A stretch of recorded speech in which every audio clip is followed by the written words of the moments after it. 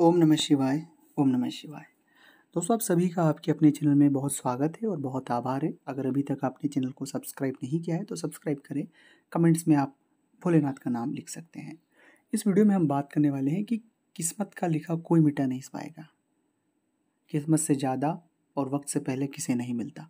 ये कहावत हम अक्सर लोगों से सुनते रहते हैं और मुझे इस विषय को लेकर बहुत सारे कमेंट्स कुछ दिनों से मैंने देखे, दो चार जातकों ने इस विषय पर कमेंट्स किए हैं कि क्या किस्मत का लिखा कोई मिटा नहीं पाएगा।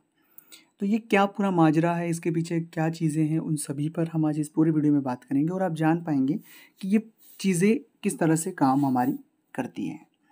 आप और हम सबने गीता तो पढ़ी है। गीता में ये लाइन और ये जो बात है, हमेशा आपको सुनने को मिलती है कि कर्म कर, फल की चिंता मत कर। बस सेम उसी प्रोसेस पर आधारित है हमारी किस्मत का लिखा कोई मिटा नहीं पाएगा। जो व्यक्ति जिस प्रकार के कर्म करता है, उसे फल मिलते हैं। ये एक वैज्ञानिक बात है, ये एक प्रैक्टिकल बात है और इसके साथ जो दूसरी बात है कि माता पिता के अच्छे कर्मों का फ़ायदा उसके संतानों को मिलता है माता पिता के बुरे कर्मों का फ़ायदा या नुकसान उसके बच्चों को मिलता है। क्योंकि जो विरासत है, वो हमारे परिवार से जुड़ी होती है। तो ये बात बिल्कुल अपने आप में आप खुद प्रैक्टिकल देख सकते हैं। कई सारे लोग आप ऐसा देखते हैं कि बहुत कम मेहनत में एक बहुत बड़ी सफलता को प्राप्त कर लेते हैं। बहुत से लोग कई दिनों तक मेहनत करते रहते हैं, पर उन्हें सफलता नहीं मिलती है।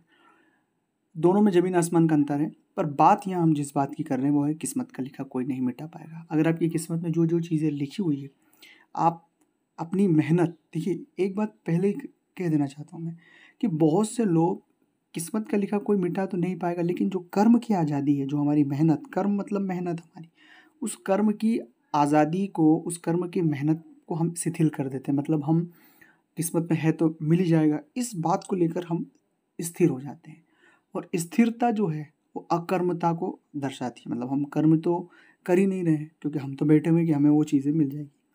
बस उसी चीज़ से हमारी जो कर्मता, जहाँ पर क्षरण होता है, हम अकर्मणता की ओर बढ़ जाते हैं। तो हमारी जो किस्मत में चीज़ें लिखी होती है और उसका डाइवर्शन हो जाता है। मतलब डाइवर्शन से सीधी सी बात है कि जब आप मेहनत कर ही नहीं रहे हैं तो जो आपकी किस्मत में चीज़ें मिलने हैं, वो आपको कैसे मिल पाएगी?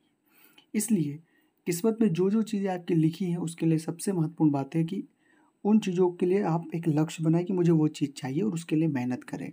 आप जब मेहनत करेंगे, आपको हंड्रेड परसेंट वो चीज़ें मिलेगी। लेकिन हम एक पूरे वे को, एक पूरे सीनेरियो को अलग दृष्टिकोण से समझेंगे कि मिल ही जाएगा, मिल ही जाएगा और बस हम यही बात कह रहे हैं और मेहनत नहीं कर रहे हैं। तो इस वजह से हमारी कई सारी परेशानियाँ बढ़ सकती और हम नकारात्मक पे में जा सकते हैं। इसलिए अपनी मेहनत पूरी ईमानदारी से करते रहें। आपकी किस्मत में जो जो चीज़ें होगी, वो पड़ाव आपको मिलते जाएँगे और आप हमेशा खुश रहोगे और हमेशा आपके जीवन में आप सफलता की ओर बढ़ेंगे। क्योंकि कर्मता, कर्म करना ही किस्मत है।